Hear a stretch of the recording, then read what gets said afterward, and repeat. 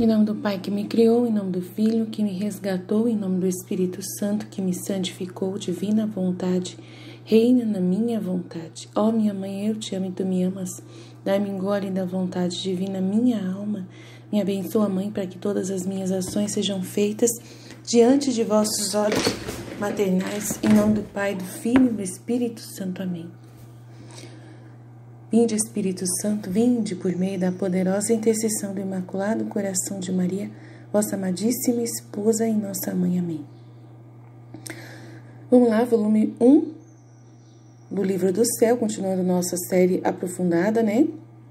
De meditação do Livro do Céu. Hoje estamos no capítulo 29. Uma nova cruz de luz. Sempre coloca a comida de volta e ao mesmo tempo sente o sofrimento da fome. O confessor a proíbe de continuar no estado de vítima. Isso me custou muito no começo, principalmente pelas obediências que o Senhor me deu. Não sei como ele queria que eu tomasse vitaminas e mantive a obediência, pois tantas vezes quanto vomitava, muitas vezes tive que voltar para comer. Agora o complexo vitamínico provocava o meu apetite e às vezes eu sentia muita fome também. Pegava a comida e assim que era ingerida, às vezes no próprio ato de ingerir, eu era forçada a vomitar pelas constantes ânsias de vômito e fiquei com a mesma fome de antes. A palavra que Jesus me disse não me fez ousar pedir nada, e eu mesmo tinha vergonha de perguntar. Pensei comigo mesma: o que a família dirá? Mas ela vomitou e agora quer comer? Se eles me deram algo, eu aceito. Me derem algo, eu aceito. Caso contrário, o Senhor pensará sobre isso. Mas isso não durou muito, mais cerca de quatro meses. Um dia o Senhor me disse: repita para o confessor a pergunta que lhe dá a obediência para não tomar o quinino. E não deixar que você tome a comida muitas vezes, porque eu lhe darei luz. Assim o confessor veio, eu disse a ele o, o que Jesus me disse. Para não mostrar singularidade, a partir de agora quero que você coma apenas uma vez por dia. E também suspendeu o quinino. Fiquei mais quieta e com fome, mas o vômito não cessou, e assim que peguei a comida, tive que devolvê-la. O Senhor às vezes me dizia para pedir obediência para não comer, mas o confessor nunca me deu essa obediência. Ele costumava me dizer: não faça nada que vomite. Isso é outra mortificação. Mas eu disse isso para ele e ele me disse: eu quero que você Faça pergunta, mas com santa indiferença. Quero que você seja o que a obediência pedir. E assim eu continuei a fazer. Depois de 40 dias, tirei dessa palavra que o Senhor disse por um determinado tempo e que eu havia dito ao confessor, os sofrimentos continuaram a me surpreender todos os dias e ele foi forçado a vir todos os dias. O confessor começou a me dar a obediência de não ter mais que ficar naquele estado de petrificação e acrescentou que eu, se eu insistisse, ele nunca mais voltaria. Da minha parte, me senti muito pronta para obedecer, especialmente a natureza queria se libertar de estar constantemente na cama, que por mais bela que fosse, sempre era difícil. Esse dever de sujeitar-me a todos, mesmo nas coisas mais repugnantes e necessárias à natureza, como limpeza do corpo, e ser forçada a contar com os outros nesse assunto é um verdadeiro sacrifício. Assim, a natureza assumiu seu cargo, todos consolados em se sentir diante dessa obediência de não mais eu voltar ao estado de petrificação. Por outro lado, minha alma estava pronta para fazer obediência e pronta para ficar na cama, se o Senhor quisesse. Porque eu comecei a experimentar o quão bom ele tinha sido comigo e que a verdadeira resignação sabe como mudar a natureza das coisas de amargo converte-o em doce. Então, é isso aí. Olha que trecho interessante para a gente entender bastante o estado de Luísa, né? O que ela viveu, o que ela passou, né? E a gente questiona por que que Jesus, além de colocá-la na cama, além de colocá-la no estado de petrificação, ele ainda se, né, mantém essa situação de fome. Então, é uma coisa é, que a gente não entende, que a gente não vai entender. A gente acha que Deus pode fazer as coisas, né, do jeito perfeito, tudo do jeito que ele quiser. Não, gente. Deus não faz as coisas fora da natureza que ele que das coisas do jeito que elas são. Tá? Ele não interfere né, na, na, na ordem das coisas. Quando ele criou todas as coisas, ele fez uma ordem perfeita. Então, essa situação das, do corpo sair da alma, eu já expliquei. Né? Que a alma sai do corpo, desculpa, eu já expliquei que é uma situação especial que a, o corpo fica sem água, né? Enquanto ela sai. E para poder a alma é, permanecer nesse estado contínuo de ficar saindo do corpo, não, não pode, o corpo não pode ter nada, não pode ter comida, não pode ter água, não pode ter nada. Isso é uma, é uma, é uma, é uma, por que, que é extraordinário e Jesus quer que isso aconteça na vida de Luísa? Porque o que ele vai fazer na vida de Luísa precisa desse extraordinário, precisa dessa situação. E é uma situação que precisa bater com um estudo sobre isso. Então, tem um estudo que é feito por pessoas que mexem, né, que entendem mais sobre essa, essa coisa de saída do corpo. E Jesus ele quer fazer as coisas em conformidade com a natureza, com a, o estudo da natureza referente a isso. Então tem a, tem uma religião, infelizmente, é o espiritismo, né? Infelizmente, que estuda essa parte, essa coisa de sair do corpo. Eles estudam e eles têm todas as respostas sobre isso. Eu não gosto de ler nada de espírita, mas referente a esse assunto da Luísa, tem todo um entendimento sobre isso. Todo o um entendimento dentro da natureza, como é feito, como acontece, tá? Aí vocês vão pensar, nossa, Aline, que horror, né? Que absurdo você saber disso e tal. Olha, mas é importante para entender Luísa. Para entender Luísa, você precisa entender isso. Jesus, ele trouxe para mim esse conteúdo. Foi ele que pediu para mim estudar isso. Para mim entender que ele é o dono de todas as coisas, de tudo que ele faz no universo. Todas as leis da natureza é ele que criou. E elas existem. Se a Igreja Católica não quer estudar essas leis, aí a culpa não é nossa. É a igreja que não quer estudar essas leis, tá? Mas essas leis existem. Existem essas leis da natureza. Como funcionam todas as coisas. Então, tem uma, uma energia quântica que existe. Isso existe. Se não existisse, ninguém falaria disso. Tem isso. Tem essa, essa condição quântica na história. E ela vive isso. Essa, essa, essa tecnologia, entre aspas, espiritual que a gente nunca ouviu falar. Porque a nossa religião não estuda esses detalhes, não busca isso. Mas essa realidade existe. Não é porque a nossa religião não estuda esses detalhes que a gente não precisa saber que eles existem. Ponto final. Existem, ponto final. Então, a alma que sai do corpo não precisa mais de comer, porque ela sai do corpo todos os dias. Tem almas que não saem todos os dias. E aí volta a comer. Mas a Luísa, no caso de Jesus, com a Luísa, ele quis extraordinariamente que ela saísse várias vezes ao dia se deixasse. Né? Depois ela começa a sair só uma vez e fica com ele o tempo todo lá, recebendo os conteúdos da, do diário, da, né, do que ele fala e escrevendo. Depois é, sai menos, começa a ter visões e tal. Depois muda as coisas, depois começa a ficar mais organizado. E ela não precisa comer mais nada, mais nada, tá? É uma coisa extraordinária. É um estado extraordinário. Mas até o padre entender isso demora, não é assim no piscar de olhos que o padre entender isso, porque a igreja não estava preparada para algo, algo assim tão extraordinário como Luísa. Precisa que Luísa seja é, algo tão assim novo e extraordinário para a igreja. Por quê? Porque não é só para a igreja católica que ela veio. O reino da divina vontade veio para todas as almas do mundo inteiro. Então veio para as outras religiões também. Veio para o entendimento de outras religiões também. Para que todos queiram viver essa realidade do reino da divina vontade, que é para todos, é viver o céu na terra. Todas as pessoas, a gente não está acostumado a pensar, mas a gente tem que pensar: todas as pessoas das outras religiões também estão buscando Deus. Estão buscando essa realidade né, de vir o céu, é, de ir para o céu. De uma forma ou de outra, mesmo que eles entendem de outro jeito. Mesmo que eles busquem outra doutrina, outra dogma, os outros, outras verdades que eles criaram, né? E, contaminadas com o demônio. Não tem paciência, paciência, a gente tem que entender que eles não têm toda a verdade. A gente tem toda a verdade e precisa também se unir aos conteúdos né, universais do que ele, do, dos estudos que eles fazem. A gente precisa entender que a gente tem almas do purgatório, que são as almas que parecem às vezes para as pessoas, que tem os demônios que se tornam almas penadas. Os demônios eles é, utilizam né, dessa realidade para poder enganar as pessoas. A gente tem que começar a entender por que, que eles veem almas, por que, que os espíritas veem almas, porque são os demônios que aparecem.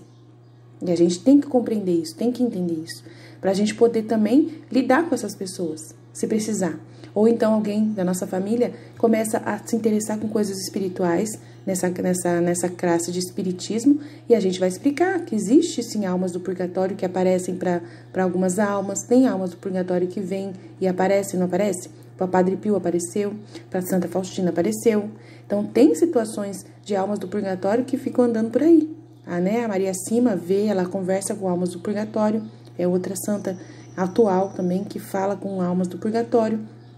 Então, a gente tem que entender, é uma mística, né? Ela é uma mística. Então, claramente a gente tem que ver que essas coisas são reais. Então, por isso que a gente tem que ver Luísa nesta ótica de extraordinário, porque ela é uma mística extraordinária, traz elementos novos para nosso entendimento. Então, ela não precisava comer, era uma condição natural do estado dela. Então, não era porque Jesus queria que dar mais uma cruz para ela. E ela não ia entender, o padre não ia entender, porque era uma novidade para a igreja. Jesus nunca chegou na Luísa e explicou para ela, ou se explicou, ela não quis explicar para a gente. Ou então, os padres não deixaram essa parte para a gente ouvir do, do, do, do diário, porque o diário passou pela mão de teólogos. E às vezes, né, eles não quiseram trazer essa realidade de entendimento, desse entendimento para nós. Mas existe essa realidade. Não estou dizendo que é um conteúdo espírita nossa, o estudo da Luísa, nada a ver. Mas existe essa realidade dela sair do corpo. E é a natureza dessa realidade, a natureza natural dessa, dessa atitude de, de sair, a alma sair do corpo, exige que o corpo não tenha mesmo mais nenhum tipo de, de necessidades é, corporais. Porque a alma dela é alimentada pela vontade de Deus. Aí você pergunta, mas Jesus não viveu isso? Ele passou por isso? Né? Gente, Nossa Senhora passou por isso? Então, Nossa Senhora passou por isso. Ela não passou de não comer. Ela não, não saía do corpo todos os dias, mas ela saía, a alma dela saía de vez em quando, mas não saía sempre. Mas a Luísa sai sempre, sempre, todos os dias. Então é totalmente extraordinário. É algo extraordinário que Jesus quis. Não fez com o Padre Pio algo extraordinário? Diferente? Então, com a Luísa também tá? Então a gente só tem que compreender isso. Aí ela fala aqui que ela sofreu, né, que custou muito no começo, principalmente pelas obediências que o confessor me, me deu. Pediu para ela tomar vitamina para ela comer, achou que ela era, que era falta de apetite, não tinha nada a ver com falta de apetite. Ela fez a obediência, tomou vitamina, tadinha, judiação, ficou morrendo de fome. Aumentou o apetite dela e ela sentia muita fome. Né? Isso é normal, ela sentia fome como qualquer outra pessoa, né? Pegava comida e assim que era ingerida, às vezes o próprio ato de ingerir, eu era forçada a vomitar pelos constantes ânsias de vômito e fiquei com a mesma fome de que o corpo dela não aceitava mais comida.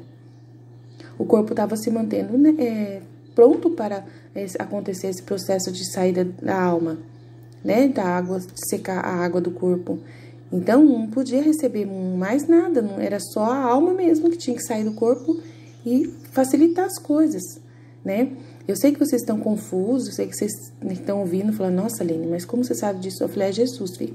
É Jesus que me explica todas as coisas, é Ele que me levou para essas realidades, é Ele que me fez entender. Eu li o Weber, Weber Alexander, né, o neurologista, que ele teve essa experiência, experiência de EQM, onde a alma dele saiu do corpo também, né, ficou em coma durante todo esse tempo de coma, né, e ficou no céu um tempo, né, ele explica tudo, é um neurologista que explica tudo no livro A Prova do Céu.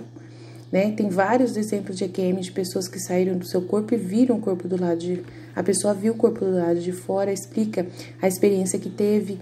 É real isso. Tem muita gente que tem. Tem um canal só de EQMs. Só explicando, o problema é que sempre eles vão levar para o lado espírita, sempre. E não tem nada de espírita nisso, não tem nada de reencarnação, essas coisas, nada, nada, nada. Tem toda uma explicação. As memórias que eles têm das vidas passadas são memórias do limbo, de almas que estão no limbo, que se conectam, né? Com a memória, nós somos ligados. Jesus fala que nós somos ligados ao universo inteiro, que a nossa, a, a, que dentro de nós tem um, um véu que se fechou, mas que para algumas almas ele está abrindo esse véu. Ele abre o véu aos poucos para algumas almas. Ele dá dons extraordinários para algumas almas.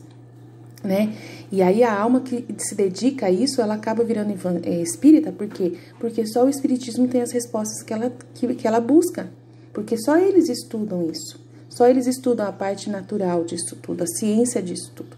E se a nossa igreja ela se interessasse em estudar esses detalhes sem ligar com reencarnação, porque não tem nada a ver com reencarnação, não existem várias vidas passadas, é, nós somos conectados conectados com todas as almas. Jesus explica claramente no livro do céu que nós somos uma família e nós somos conectados com todos os, os seres humanos do passado, presente e futuro. Por que, que a gente reza é, eu, em nome de todos os seres humanos? Porque nós somos todos conectados em Deus. Deus que está em cada um de nós está em todos. O que Deus vive com um, ele vive em todos em todos os seres humanos, né? E nós temos as memórias do passado que são guardadas. Quando a gente veio nascer, quando a gente nasceu, Jesus apagou muitas memórias das experiências vividas lá no céu, porque nós fomos criados muito antes da gente nascer. A gente foi conversou muito com Deus no céu. A gente teve momentos no céu. E é tudo no céu, não tem nada a ver com esse negócio, né, de reencarnação.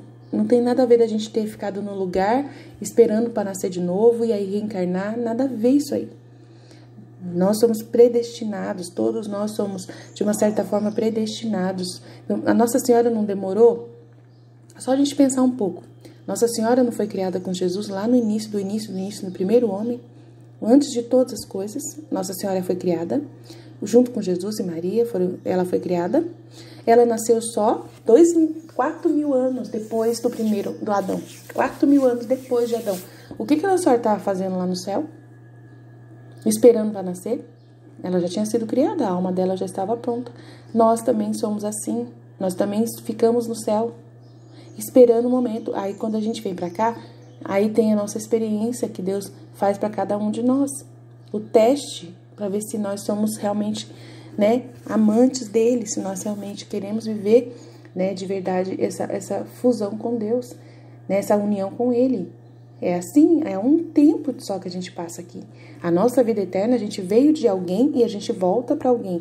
Aí, nessas experiências de QM, eles falam que eles têm uma memória que eles lembram de algo que aconteceu antes deles vir para a Terra. E aí eles acham que é vidas passadas, mas não tem nada a ver com vidas passadas. A gente fica lá no céu e a gente está conectado com todas as almas do mundo inteiro, do universo inteiro. É a coisa mais linda do mundo saber que você é uma família humana unida com Jesus. Então Jesus ele explica para Luísa muitos trechos sobre essa conexão que nós temos com todo o universo, com todos né, os seres humanos, que um é ligado com todos, que todos é ligado. Então, é, são várias pessoas, vários indivíduos né, dessa família que nós temos acesso a experiências de outras pessoas, de outras vidas, de outras pessoas. Não que a gente teve outra vida, que a gente nasceu em outro tempo e viveu. Nada a ver. Nós temos a conexão com outras almas. Nós somos conectados entre nós. Quando a gente for para o céu, a gente vai entender tudo isso. Mas enquanto a gente está aqui, a gente está com os véus fechados, totalmente fechados. O céu fechou a nossa memória, a gente não tem, tem. Aí Jesus, ele aos poucos, ele permite que alguma alma tenha acesso a essas memórias, né? Ou que faça algum pro, um progresso, um processo de, de, regressão, essas coisas, e tenha acesso a essas memórias do que ela conversou com outras pessoas antes de vir para cá do que ela conheceu da vida de outras pessoas antes dela, dela vir para cá, antes dela nascer pela primeira e única vez, porque a gente só nasce uma primeira e única vez só. A gente nunca mais vai voltar para a Terra, só no final, no juízo final. Mas até lá, as almas estão em devidos lugares, em devidas salas, esperando para poder vir. Então, a gente tem que compreender. Todas as almas têm todo um, um entendimento, têm toda um, uma consciência individual e única que Deus dá para cada uma. Não tem esse negócio de várias vidas. Não tem essa, essa revolução que é feito, que você volta e volta e volta e volta. Isso não existe. Por mais bonito que eles achem, eles entenderam dessa forma, mas não é assim. Então a gente tem que compreender que tem uma realidade espiritual que a gente não consegue entender porque a gente não estuda. Porque a Jesus não, não, não quer não permitiu que, que a nossa. Não sei o que aconteceu, mas a nossa igreja não se dedica a isso. Com medo, por causa do medo de confundir as pessoas. Mas não tem nada de errado, é totalmente, né, conexão católica mesmo. A gente vai ver tudo no dogma católico. A gente tudo vê na forma católica de entender as coisas. Então, eu sei que é um assunto delicado, eu sei que tem gente que não vai gostar desse assunto, que vai ficar com medo de seguir agora, a partir de agora, pensando que a gente vai falar disso. A gente não vai tocar nesse assunto de espíritas. Eu só estou falando agora claramente. A Luísa sai do corpo. Isso totalmente é uma, é uma visão totalmente que só é abordada pelos espíritos. Ninguém aborda na nossa igreja. Por isso que é complexo e de repente por causa disso que a Luísa está demorando para ser canonizada, para ser beatificada, porque tem que se explicar essa realidade, entendeu? Eles, eles entenderam. Se ela fosse uma pessoa, um ser de, outro, de outra, né? Se fosse ela fosse uma, uma pessoa que não fosse católica, não teria os livros dela para a gente ler. Ela não seria uma serva de Deus. Ela não estaria em processo de beatificação. Então a gente tem que compreender que é muito complexo para a igreja explicar quem é Luísa para a gente. Por isso que está demorando muito para vir. Mas a gente não pode deixar de, de, de, receber de Jesus as instruções. E se ele me explicou que é assim que funciona, se ele me levou para esses conteúdos para eu estudar, para eu entender, Luísa, é por causa que é, é importante. Então não precisa comer. A Luísa não precisa comer, tá? Como outras santas também não precisaram comer, porque também estavam dessa forma conectadas com Deus, amém. A Emerique, né? E outras santas que não comeram também. Então elas também tinham. Então não foi nem só a Luísa, foi teve a Emerique também, teve outras santas que também viveram essa realidade. Então não quero que vocês fiquem tratando desse assunto, conversando sobre isso, levando tudo para esse lado, começando a estudar espiritismo para isso. Pelo amor de Deus, não precisa de nada disso. Não precisa estudar para estudar Luísa, não precisa ir atrás desses conteúdos. É só entender isso e ponto final tá bom? Só entender isso e ponto final, seguir em frente, né? Na nossa cultura católica, nada de ficar acrescentando nada. Eu, então, só tô explicando o que Jesus explicou para mim, tá? Então, eu espero que esse, essa meditação de hoje não venha de forma alguma atrapalhar ninguém. Muito pelo contrário, só para poder explicar. Mas isso não durou muito, né? Daí ela fala que é, tô meio, comecei a vomitar constante antes de vômito. Fiquei com a mesma fome de antes. A palavra que Jesus me disse não me fez ousar pedir nada, e eu mesmo tinha vergonha de perguntar e pensei comigo mesma: o que a família dirá? Mas ela vomitou e agora quer comer? Se eles me derem algo, eu aceito. Caso contrário, o Senhor pensará sobre isso. Então, olha que situação difícil que ela está passando, né? A gente tem que só focar nisso, né? É uma cruz diferente, é uma novidade para a família dela não dá para entender por que, que ela não consegue comer. Ela tá com vômito, tá passando mal e tá com fome. Eles não entendem uma coisa óbvia. A pessoa não, não tá comendo, é, ela sente fome. Até o corpo dela se acostumar demora. Isso é, faz parte da cruz que ela tem que carregar, da mortificação, né? Jesus também quase não comia, ele não precisava comer, ele comia, mas por causa que, né? Jesus mesmo, a humanidade dele, ele comia mais por causa que, para poder se parecer humano o mais possível. Ele mesmo fala na mística Cidade de Deus que Nossa Senhora e Jesus, eles nem precisavam comer, porque eles eram totalmente alimentados por Deus, espiritualmente, né? E eles comiam para poder se tornarem mais normais para os seres humanos, né? Entenderam? Então, eles não precisavam. Jesus também vivia nessa condição que ele está. Não é uma condição nova. Aí você pergunta para mim, então a gente que vai ser filho da divina vontade, a gente não vai comer também? A gente não vai precisar comer. Não é assim. Não é porque Jesus fez um processo com uma pessoa que ele vai fazer com todo mundo assim. Né? A gente vai ser seres especiais, mas a gente, ele, se ele deu comida pra gente aqui na Terra, com certeza a gente vai continuar comendo, né? Adão e Eva não comia? Então, essa condição humana vai continuar normal. Mas só que a gente não vai ser tão gulosos, né? A gente vai ter as domin totalmente dominados nas nossas paixões, como Jesus era, como Maria era, né?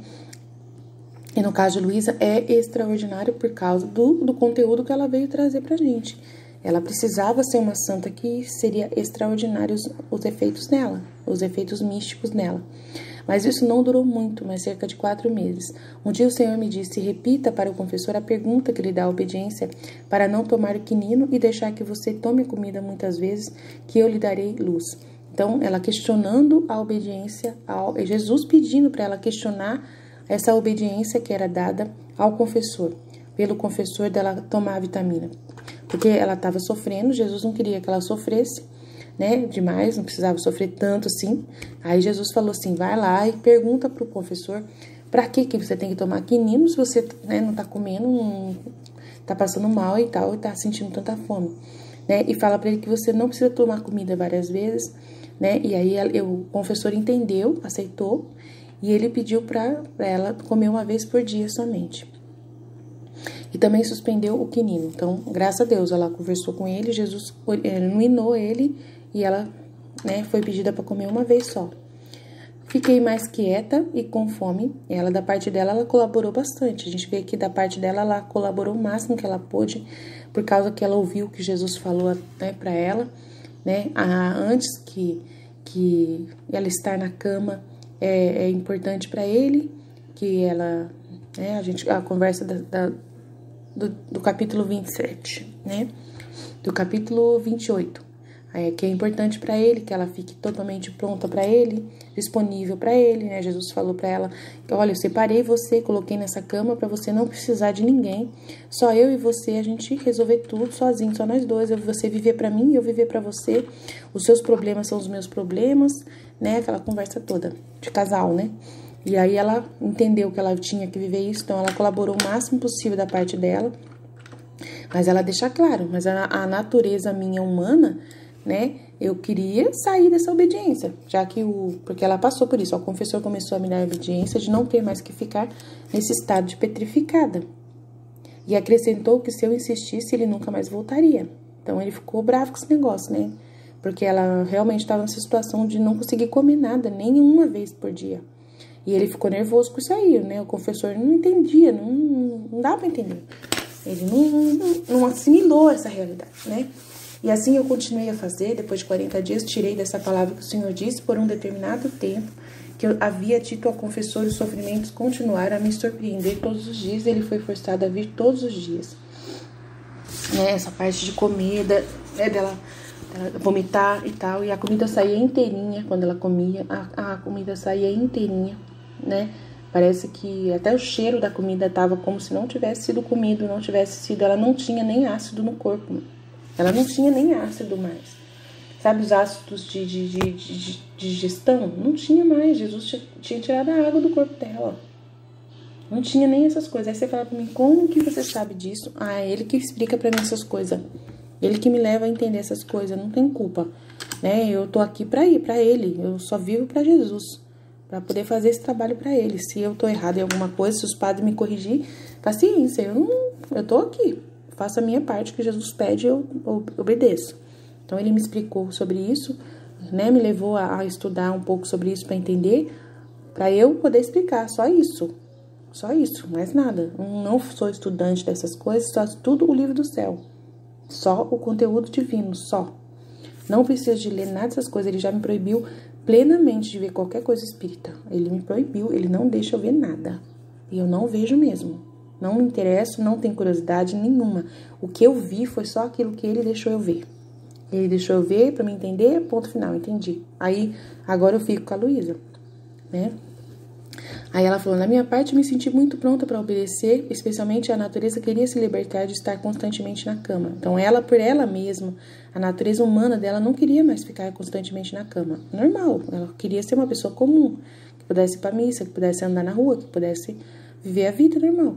Normal, todo mundo quer isso. Se você estivesse na cama o tempo todo, Jesus quisesse você na cama e alguém falasse, não, não precisa mais, e depende do confessor, e Jesus vai respeitar o confessor, ah, Jesus vai respeitar o confessor. Se o confessor não quer, Jesus vai querer também. Ela, para ela, era uma, uma esperança que ela tinha, né, de que não precisasse mais. Mas só que daí Jesus, ele foi firme, ele queria ponto final. Não tinha conversa com Jesus, não. Não tinha. Então, o confessor, por mais que se fosse contra, Jesus ele resolveu o problema, né? E aí a gente vai saber como que Jesus vai resolver isso aí. O confessor começou a dar obediência de não ter mais que ficar nesse estado de petrificado e acrescentou que se eu insistisse, ele nunca mais voltaria. Da minha parte, me senti muito pronta para obedecer, especialmente a natureza queria se libertar de estar constantemente na cama, que por mais bela que fosse essa experiência com Jesus, de estar com ele, mas era sempre difícil. O dever de me sujeitar-me a todos. Então ela tinha que se sujeitar à limpeza do corpo lá. Mesmo nas coisas mais repugnantes. Limpeza do corpo. Necessárias à natureza, a limpeza do corpo. Ela precisava ainda. Ela ainda né, fazia né, as necessidades dela, ainda tinha necessidades ainda. E era forçada a contar com os outros nesse assunto, e é um verdadeiro sacrifício. Ela não gostava das pessoas ter que lavar ela no, na cama, tomar banho no leito, as, né, as necessidades normais do corpo dela, né, de limpeza e tudo mais. Assim, a natureza assumiu seu cargo, todos consolados em se sentir diante dessa obediência. A família também estava feliz, né? Não ter que mais ficar limpando ela mais. Por outro lado, minha alma estava pronta para fazer obediência e pronta para ficar na cama, se o Senhor quisesse. Porque eu comecei a experimentar o quão bom ele tinha sido comigo, né? E que a verdadeira resignação sabe como mudar a natureza das coisas de amargo para doce. É isso que ela quer dizer, que você a verdadeira resignação é quando você faz por amor Jesus, né? Quando você aceita as situações que Jesus quer na vontade divina, ele sabe como transformar tudo do amargo, dessa dificuldade, em ser uma coisa doce, por causa da presença dele, que é inebriante, né? Que ficava com ela o tempo todo, né? Que levava ela para todos os lugares, que trazia um alimento do céu para ela tomar, tirava toda a fome dela. Então ele vai fazer várias coisas aqui e vai fazer de tudo para poder manter ela nesse estado. Não vai tirar ela do estado nem paulada, pode falar, né? Jesus, eu confio em vós, fiat, fiat, fiat. Gente, tem alguma dúvida? Faz suas perguntas aqui no vídeo. Eu não tenho vergonha, não tenho vergonha de perguntar. Quero muito que entendam isso. Não precisam correr atrás dessas informações. Não precisam entender isso. Né? Fala que a Luísa é extraordinária, uma mística extraordinária. Eu estou explicando aqui porque é uma meditação aprofundada que Jesus pediu para eu fazer. Deixa isso para mim. Quando vocês quiserem que alguém saiba desses detalhes, vocês mandam meu vídeo para a pessoa, tá bom? Deixa que eu assume só essa realidade. Não precisa você correr atrás de estudar e entender isso. Não vai atrás, porque Jesus não quer, tá bom? Jesus que está dando essa ordem. Não precisa ir atrás dessas informações que eu passei para vocês. Querem ler o livro do Eben Alexander? Pode ler, mas não vão atrás de coisas espíritas, tá? porque eu não fui atrás. Foi Jesus quem me trouxe conteúdos mais católicos do que espíritas, voltados a esse fato, por exemplo, da, da, da Maria Cima. Me explicou muito sobre a Maria Cima, sobre as almas do purgatório, sobre a experiência de Santa Faustina com as almas, né? Sobre essa realidade de bilocação também, de sair do, né, de estar em dois lugares ao mesmo tempo. Então, eu fui estudando essas coisas para entender.